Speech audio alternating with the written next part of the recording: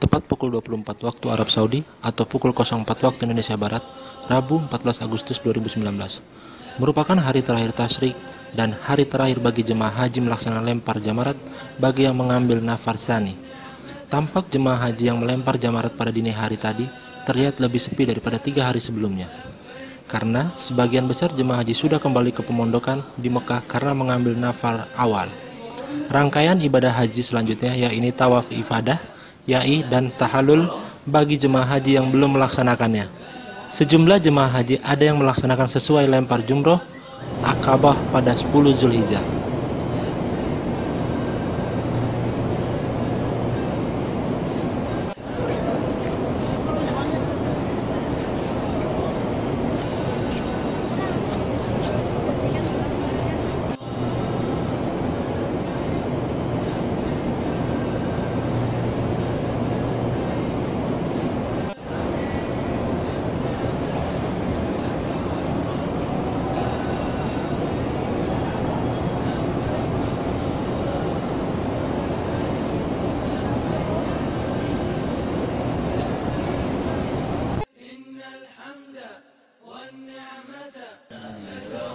Maksuni Hussein melaporkan dari Arab Saudi.